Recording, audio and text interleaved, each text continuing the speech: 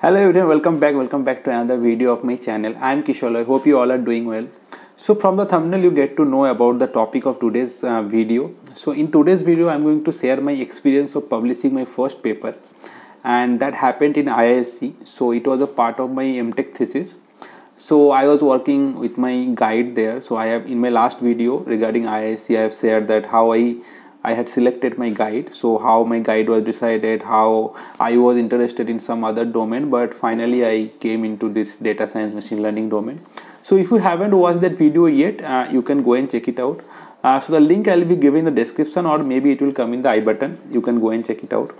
Now coming back to today's video. So many of you asked me that how was my experience of publishing paper and how is the overall procedure that you all want to know so that you also get to know about that you know how typically research has been done in institutions like IISc and IITs. So in this video I'm going to share my experience of publishing my first paper.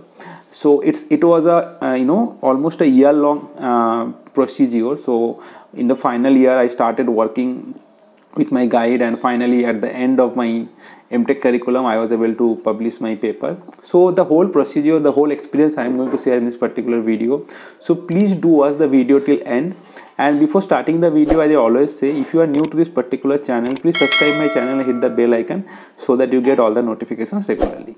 Now without further ado let's get started with today's video. Yeah so my guide was selected in the beginning of the second semester and i started working with him at the end of the second semester. That means uh, during the summer gap uh, that is typically may 2019 till june 2019 so this is the period from may to june there is to be summer uh, summer break uh, in in IISc and that time most of the students used to you know go for the internship. But as you all know that i didn't appear for the internship and my goal was to work with my guide uh, so that you know i can get a paper out of my mtech project because i was uh, you know inclined towards research and phd so i started working with my guide um, uh, like around this mm, april end or may start. So initially i was i was working directly with my guide. So my guide gave me few of the papers uh, to read uh, so the first part of the research is that you have to do a lot of literature survey. That means that whatever problem statement you are interested in you have to do a lot of you know you have to read a lot of paper regarding that problem domain and find find out that how much work has been already done in that direction or in that problem problem statement. What are the flaws of that uh, those methods that has been proposed by those different papers? And then you have to come out with a with a with a, with a you know novel idea to solve that particular problem in a efficient way which those previous paper didn't attempt. So that was the kind of fundamental thing that or fundamental purpose of doing a literature survey. So my guide has given me a lot of papers and i started reading those papers.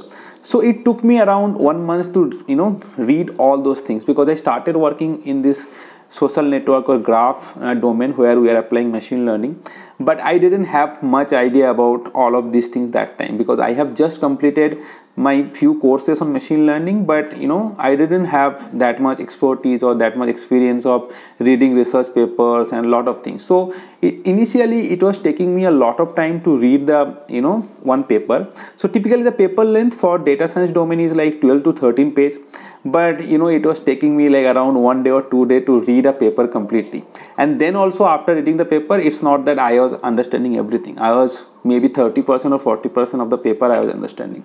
So this is how it all started. So this may and uh, uh, like may may june these two months i was only reading the paper. I was not doing anything. Uh, i was meeting with my guide. I was telling him that i am thinking like this direction maybe I, we can go that direction maybe i can go. It's kind of a hit and trial. I was trying and my guide was giving me some input. I was trying to understand them first of all because that was not so easy to understand what my guide is saying because as i say that that was a very early phase of my research uh, career or research life and i didn't have much idea about the whole field. Then this is how it was going and then my guide uh, you know introduced me introduced to me with with one of the seniors in my lab he was working in uh, in one of the companies and he was also doing phd in our lab. So my guy told me that you start collaborating with that phd student and you know then try to find out something uh, new or something novel to solve a problem.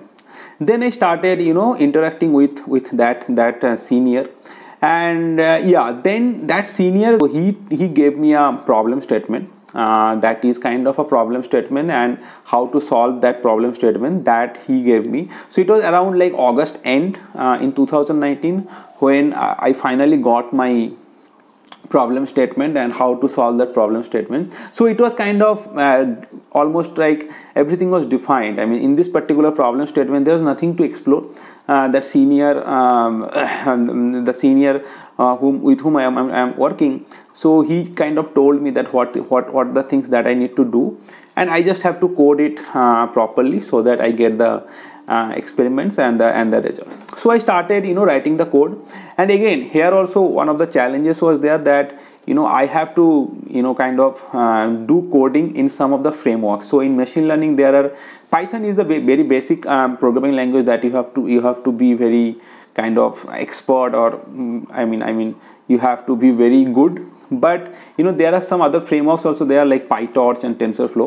These are kind of frameworks where you have to write your models so that you know it, these are very optimized way of writing coding so that your your code will will not take much time will not take much uh, space. So these are uh, time and space optimized code you can say. So i have to learn them also. So when i started writing the code so i felt that i am not much comfortable in these two frameworks. So i started you know reading uh, reading and learning about those two frameworks. So uh, to to write the code it took me around one month and one and a half month to write the code and do all the experiments so initially i was not getting the proper result. There are some issues was there but yeah eventually i i found it out and i i, I fixed those issues. And around like october mid our placement session started. So there is a gap for two months uh, two weeks uh, from this project because I have to go to the placement I have to prepare for that. So I took a break of two weeks uh, from the project and I appear for the for the for the placement interview. And then once my placement was done I came back and starting doing the experience again experiments again. So yeah I mean in IISc uh, in the third semester middle of the third semester like around uh, november uh, like october end or november first week we used to have our mid midterm evaluation of the project. By then i have the results ready and i have presented my result in the midterm evaluation and at the end of uh, november we submitted a paper from those, those results. So we submitted a paper in a in a uh, top tier conference uh, uh, of computer science. And we have written the model was very simple which we are working that time. When, when the model was not that great or not that novel but yeah results was promising. So we thought let's publish this paper to the conference and see uh, how how things go. So this is one of the things in research that you you come up come up uh, with a with a model and you do all the experiments. And experiment means that you have to beat all the baselines. That means all the previous models that has been already proposed. You have to beat their result and then only your model is better so our model was doing good compared to the all previous models so that's why we thought let's uh, publish this paper. And we submitted this paper to the conference. Yeah so in november end we uh, submitted the paper. And typically these conferences they used to take uh, two to three months uh, to you know evaluate your paper. So there will be few reviewers like two to three reviewers who will review your paper and give their final comments that how they are feeling about this particular paper and they will give a final verdict like whether it should be accepted or not. So our paper the uh, you know after two months like around january end the result came and our paper got rejected and this is i think kind of the proper start of my research career where you know you will publish the paper you will you will submit the paper in conferences and most of the time you know your paper will be rejected. Because there are a lot of competition and a lot of people are submitting the paper and typically in this in these conferences the acceptance rate is 20 percent. So like around you know if you if you submit 100 papers 20 will be accepted and 80 will be rejected. So yeah our paper got rejected and we, we got we receive all the you know comments from different reviewers and then we started analyzing our model. So this is the this is a very crucial step that when your paper got rejected from a conference so whatever the comments or whatever the reviews you got from the reviewers you have to rectify them. And there are a lot of lot of you know issues was there. Many were saying it's a very simple model. There was much not much novelty. You have just done few changes and you are getting better result. That doesn't mean that your model is really good because you have to come out with a solid model and i mean a bit complicated model. If it is then it's a better chance of getting accepted. So then we again started working on the model and uh, me and that senior uh, we, we started working on the model and we started changing the model uh, and we, we, are, we are trying to address all the all the negative comments that the reviewers given to our our, our paper. We are trying to you know address those uh, problems so that you know when you, when, when submit it in the next time we won't get any similar kind of comments. So we did the changes and around like march 2020 actually that time pandemic already started uh, we all came back home and that time you know we did the all the changes and we start we submitted again in a in a, another conference uh, in april 2020 and then again you know after two months or two and a half months we got the rejection from from that conference also and again this time also people are you know coming up uh, with with lot of negative comments that these these things you have to change. And this is a very normal procedure if you want to uh, pursue your research or phd like you know you will submit the paper in some conference then most of the time the paper will be rejected. And you, if you are if you are very lucky or if you have done a really good thing like if you have really done something extraordinary then only you have a pretty good chance of uh, you know getting a paper accepted. But most of the time what i have seen or what, what i have done in my research life so far that i have taken a model i have did some changes and try to you know build the baseline. So this is so far the process i have followed so far. Uh, so then there is a kind of 50 50 chance that it can be accepted also it can be rejected also. So yeah that was that was the thing and then again our our paper got rejected from that uh, conference and it was like may 2020 or june 2020 I got uh, we got that that that review from that conference. Then again we start working uh, for that particular paper, and then again we start changing here and there whatever the comments are coming. We are we are trying to change that thing, and we are preparing for our next submission. By then my final final evaluation for MTech uh, that was there. I have presented my this work uh, there in IISc and uh, that got uh, you know a lot of appreciation and I got highest grade for for my MTech thesis but the paper was not accepted till till then.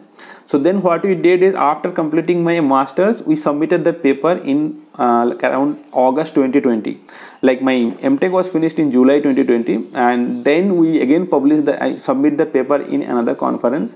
Uh, it was like end of august 2020 and this time we have done a lot of changes. I mean both the part i mean we have changed done the changes in the model and also in the experiment part. So the results also you know we have we have done a, a slight impo- improvement than the previous one. So yeah this is how we submit it for the third time. Uh, hoping that we'll be lucky uh, third time. And this time was lucky we were lucky.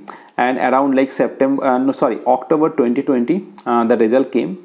And we got uh, you know we got our paper accepted in that in that particular particular conference so yeah i mean this is how the whole story you know ended. I started working in this project in around may or you can say june 20, 2019 and the paper finally got accepted in october 2020 so it's more than one year it took to finally you know accept this paper to get get accepted in a conference. And even after acceptance also there are a lot of work you have to do. Like you have to clear the final version. You have to you know go to the conference present it. So that that senior uh, guy he was he was doing it. So my my contribution or my responsibility ends after you know like publishing the paper. But uh, because i was the second author of the paper that senior guy was the first author. So he take uh, took care of the rest of the things like presenting that paper and like um, you know clearing the version uploading it to the conference side and a lot of things are there he he's taking so yeah this is how the whole story so if you are someone who is really you know interested of doing research or phd at least from iiscs and iits this is how the whole story i mean you have to do a lot of literature survey initially. Then you have to come out with a come up with a model uh, come up with an idea or novel idea that how you will be solving this particular problem and how you will be addressing the issues which was not addressed by the previous model. And then you have to do the experiment. The third step is you have to do the experiment. And your goal will, will be that you will be try you will be trying to beat all the baseline model that means all the previous model or previous work that has been done by other people. And then you will be sub, you will submit this paper to any of the conferences and then it's a luck. I mean i mean uh, then you will get the review. If your paper got through through a particular conference okay. If it is rejected then again you have to submit it to a next conference. And this is how you have to try. And whenever your paper will be rejected you will get the reviews and you have to change um, the model uh, whatever that you are doing. And you have to make it better you know kind of iteratively. Yeah so that's it guys. That's it about my whole experience of publishing a paper uh, in IISc as, as a part of my MTech project. And I hope by this experience I have given you a brief about the overall scenario how a paper uh, gets published in some conference or journal. So yeah this is the process. So if you are really interested about phd please keep these things in mind that it is a lengthy process to publish a paper. It's not easy. Uh, sometimes you got lucky and publish it in the first attempt only in the in the conference but most of the time the rejection rate is too high uh, that most of the time your paper paper will be rejected. And it's not only that i am publishing it for india that's why it's getting re rejected. It's it's true for everywhere in the world because uh, the, the the threshold or the you know the, the the selection rate or acceptance rate is 20% across the world. It's not specific to any geography or something. So through throughout the world whoever is publishing the paper this is true for everyone. So don't have this kind of misconception that because i am publishing it for india that's why it's getting rejected. It's not the fact. It's true for all over the world. So that's it guys. That's it about today's video. I hope you like the video. And if you like the video if hit the like button and share this video to many other people so so that they also get to know about it. And if you are new to this particular channel i used to make videos regarding IISc isro IIT, iits uh, gate phd interviews and you know like job interviews. I used to conduct many podcasts and all. So if you are if you are interested about these things so please do subscribe my channel and hit the bell icon so that you know whenever i upload any new video you'll get the notification. So that's it guys. That's it about today's video. I'll be meeting in the next video. Until then bye